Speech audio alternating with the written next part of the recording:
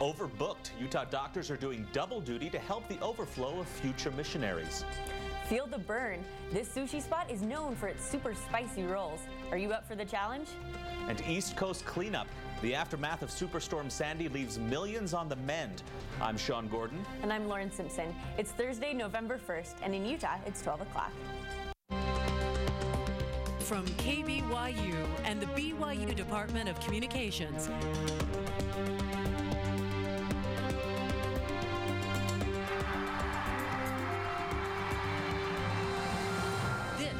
This is the award-winning 11 News at noon. The BYU Health Center is filling up on people wanting physicals now that church members can serve missions at a younger age. 11 News reporter Sarah Clark is in the newsroom. Sarah, how has the change maxed out the appointment book? Sean, the Church of Jesus Christ of Latter-day Saints says there are almost 600 missionaries that are filling their applications. But these for local for local doctors means double the work, six times the work. Phones at the BYU Health Center are ringing off the hook.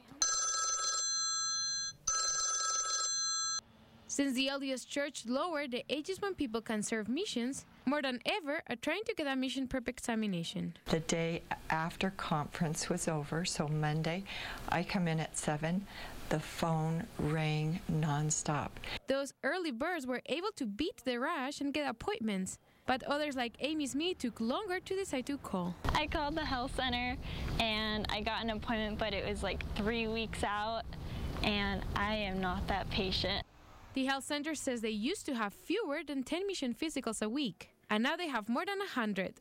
The earliest these future missionaries can get an appointment for physicals is the last week of November. If they want a specific doctor, it might get even harder. Some of the general practitioners are booked out clear until January. This has made some impatient future missionaries to look for other solutions. I could not wait that long, so I had to call around here in Provo, and um, I got my appointments about a week and a half later. The health center also says that they are saving some space for those people that might need a doctor, but they need, but for other reasons. And they also brought in another nurse to help speed up the process. In the newsroom, Sarah Clark, 11 News. Sounds like they need at least one new nurse. Thanks, Sarah. LDS missionaries all along the East Coast are trading suits and ties for jeans and t-shirts to help out their storm-damaged neighbors. They worked with other volunteers to remove trees from rooftops and to clear debris that Superstorm Sandy left behind. Church leaders say cleanup efforts will continue over the next few days, and then they'll start tackling more long-term projects. And a frightening Halloween discovery last night, the body of a missing Mill Creek man. 80-year-old Fritz Helland went missing last Wednesday, and a hiker in Neffs Canyon found his body near a creek around sunset last night. Police say evidence shows Helland likely fell off a trail and tumbled down a steep hill, but they don't expect foul, suspect foul play. And police in Richfield want people to know that a racially charged letter placed on people's doorsteps didn't come from them. It tells people that an African American family is moving into the neighborhood, and those who oppose what it calls int an intrusion should sign a petition.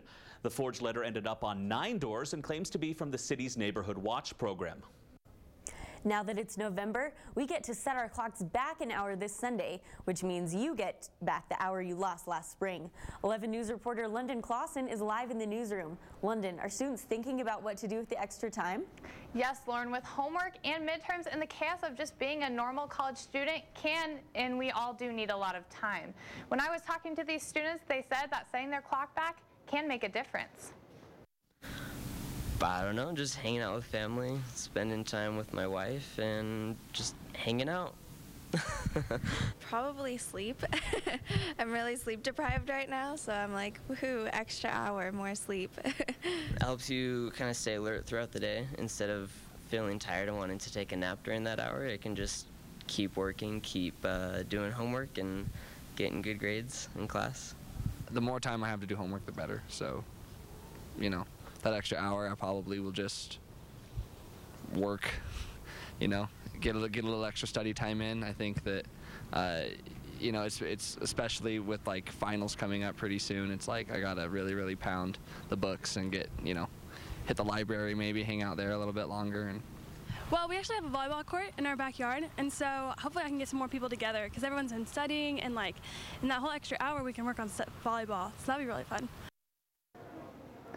Students that don't remember to set their block clocks back can miss certain gatherings such as church and family gatherings. In the newsroom, London Clausen, 11 News. Thanks, London. Do you know what you're going to be doing with your extra hour? With all the papers I've had do, had due, I'll probably just take a nap or something. I'm so tired. I feel you. Me too. Thanks, London. Thank you. When 11 News at noon returns. Scorching sushi. Some of the hottest rolls in the world are made right here in Utah. Will they make you cry?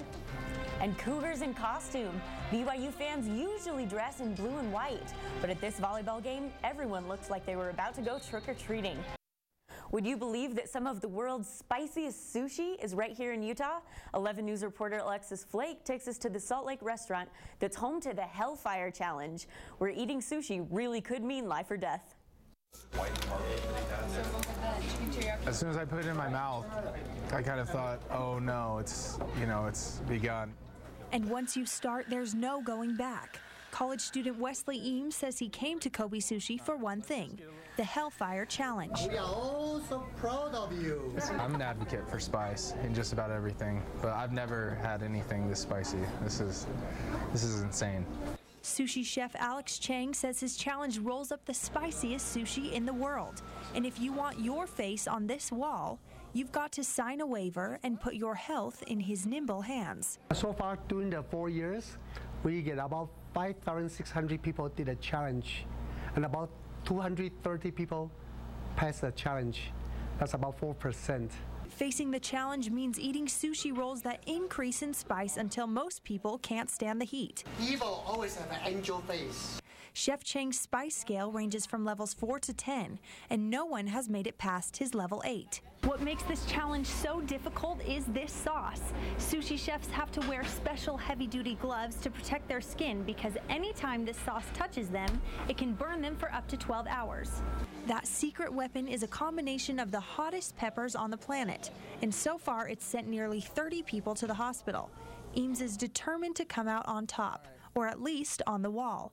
But after 20 minutes of burning, sweating, and just plain pain, he taps out before level 8, swallowing enough of level 7 to get his picture posted. I am crying, I was crying, and probably will continue to cry. And those tears come from pain and joy. You're a good man. Eames says he's not giving up, but level 8 will have to wait until after he recovers. In Salt Lake City, Alexis Flake, 11 News. Wow, that is intense. Chef Chang says the best training for his challenge is eating spicy foods at home without drinking water or milk for at least 30 minutes afterwards.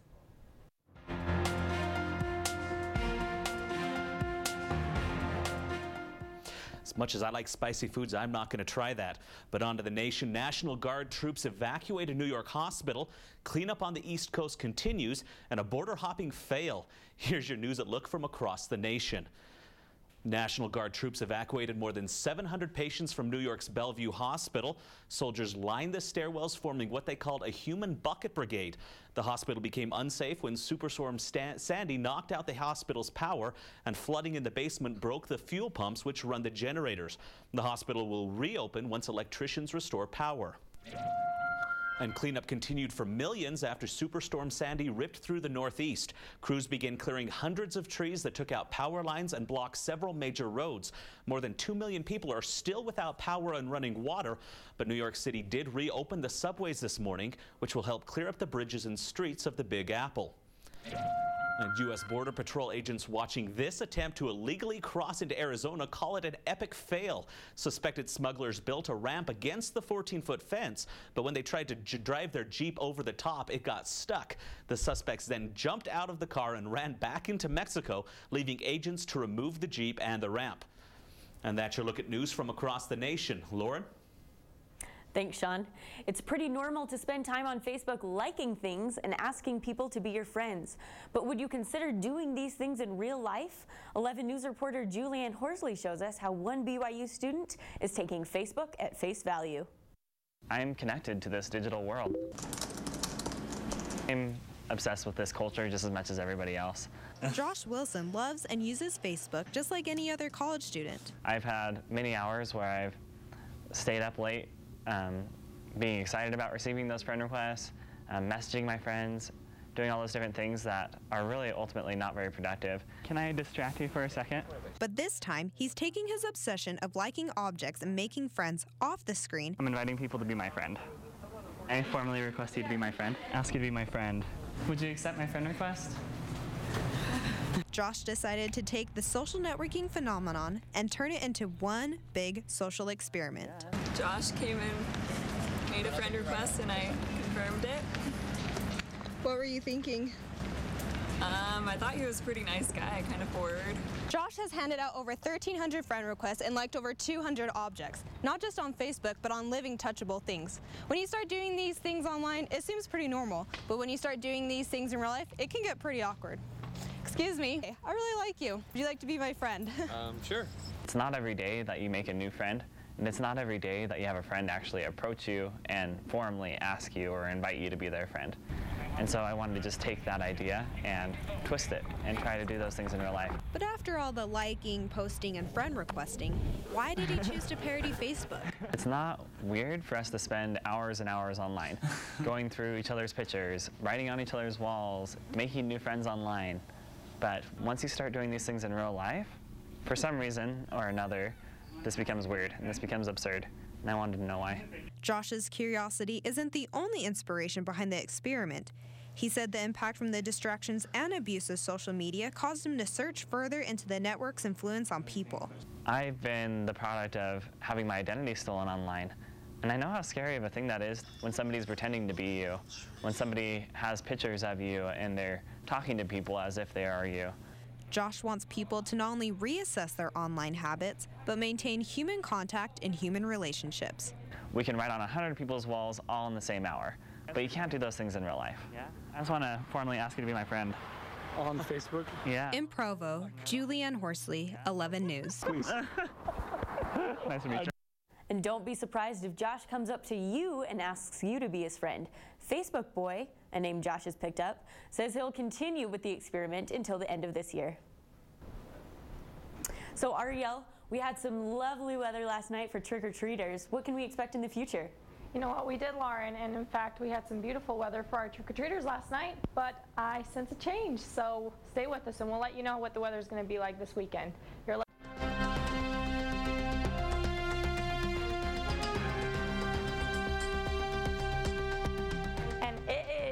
November 1st. I don't know about you guys, but it seems like it's taken a while to get finally to November. I'm so excited for the holiday season. But today in Provo, we have some clear skies and it's not like it was nice and warm yesterday. We have similar temperatures today. Right now we're at about 52 degrees, 50% humidity, and a calm wind speed. Um, we're gonna, um, what to expect tonight. We're gonna have mostly cloudy skies, um, a south breeze, and few showers um, at different parts of the state. But here in Provo tonight with a low of 39 and mostly cloudy. Um, our sunset at 6:23 p.m. Um, taking a look at the bigger picture, we have more clouds moving in from this northwest low front that is dropping our temperatures towards the latter part of the day. So tonight and earlier tomorrow we'll have some cooler temperatures from this cold front, um, but like I said, not till later on today. Um, this front will stretch and cause storms throughout parts of the Wasatch Northern Mo Mountains and different parts of Nevada and Idaho. So just cooler temperatures and um, highs across the state. We have Logan at 64 um, and St. George at 75. But our southern part of the state, it has plenty of sun. Um, typical seasonal temperatures for what we should be expecting uh, on our first day of November. Um, eastern Utah, um, sunny and clouds. Um, western Utah, sun and clouds too. And northern Utah, breezy, lower temperature, lower temperatures than we've been seeing. But throughout the day, those temperatures will eventually drop. So these are our highs, but those temperatures will be dropping in different parts of northern Utah. Dixie five-day forecast. We have mostly cloudy today, 77 and 46. Then we see Friday, partly cloudy, 76 and 46. You see Saturday, Sunday, Monday, sunny, and up to 81 on Monday. So we'll have a beautiful weekend to look forward to down in Dixie and take a looking at our northern Utah five-day forecast. Thursday, 69.44. Friday, 62.41. And as you can see throughout the rest of the week, throughout the week, we have sun. Um, so just a little temperature drop from that cold front coming in. But 62, 63, 64 for our highs, then 40, 42, and 43 for our lows. So a great weekend to look forward to. And like I said, some typical weather that we should be ex expecting for November. Yeah, I was gonna say it sounds like perfect late fall weather. Yeah. Nice clear skies. Thanks, Ariel.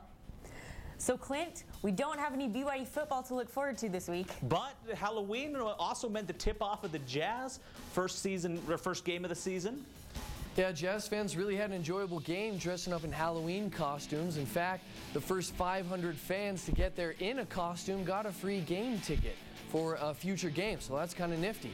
Next on sports, basketball bash, how the Jazz fared against the Nowitzki-less Mavericks in the season opener. And bump, set, spook. Halloween festivities showed up for the game, and the women, dressed as volleyball players, didn't disappoint. We'll check it out when we come back. Stay tuned.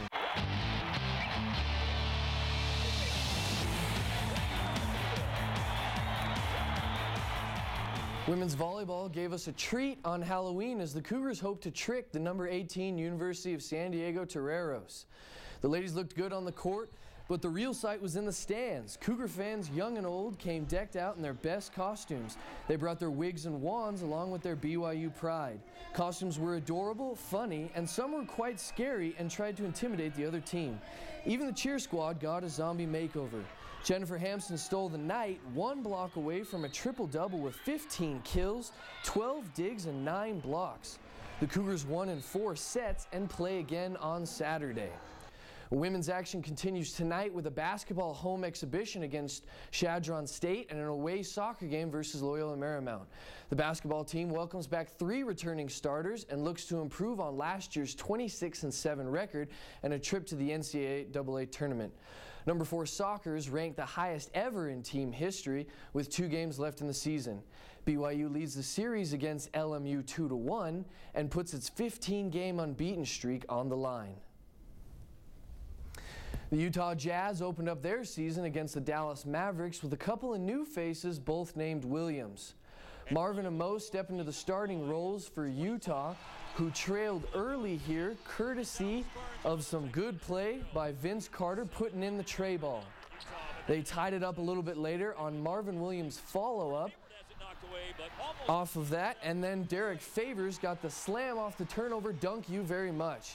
Dallas took the lead going into half as OJ Mayo says, anything you can do, I can do better. Three point buzzer beater, Dallas 63 55. Second half, the Williams fired things up. Marvin getting the easy fast break dunk, and Mo adding three of his own. Have some. Then on the break, Mo to Marvin for the pretty lay in as Utah takes control of the game and cruises to a 113 94 victory. And the sudden trade of James Harden took everyone by surprise. The news finally sank in Wednesday night when the Rockets took on the Detroit Pistons. Harden, fresh off signing a five year, $80 million deal, went to work early and often, absolutely filling it up. 37 points, 12 assists, 6 boards, and 4 steals. I wonder if the Thunder are rethinking their decision. He scored from anywhere and everywhere and propelled the Rockets to the 105 96 victory. The highly anticipated first game for the Brooklyn Nets in their new Barclays Center will just have to wait. New York Mayor Michael Bloomberg called off the game because of the devastation caused by Hurricane Sandy. The Nets franchise moved from New Jersey and spent $1 billion to build the arena. Their new season opener will be on Saturday against the Raptors. I've been on the outside of the Barclays Center, but I've heard that the inside is even more incredible. Looks beautiful. Yeah, it is good. And, uh, just found out that BYU football is actually going to be playing Cincinnati, a home and home, 2015 and 2016. That, that'll be a, Very that'll be a fun game. Still to come on 11 News at noon. Odd sights. Why is this dog reading philosophy while his friends read Dr. Seuss? It's all in good fun. We'll explain when we return.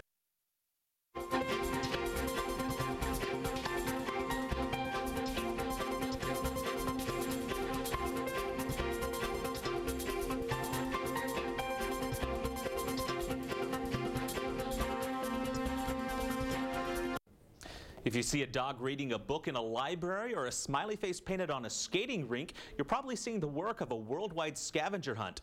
The GISHWHES proje project gives teams unlikely scenarios to reenact, photograph, and then submit to an international website.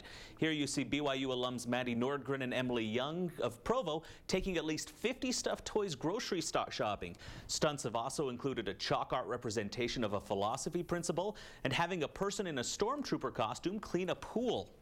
Doesn't that look so fun? I know, yeah. Where, where's your stormtrooper costume? I'll get the stormtrooper costume if you can get the pool. Okay, I know a good one. And I'll get the dog and meet you at the library. get the dog. Good, good, good. Uh, you got enough stuffed that leaves animals? me to chalk art or stuffed Oh yeah, there we go. The chalk art. You got to get that. That's 11 News at noon for Thursday, November 1st. You can join us anytime on our website, 11news.byu.edu. And thanks for watching. Have a great afternoon.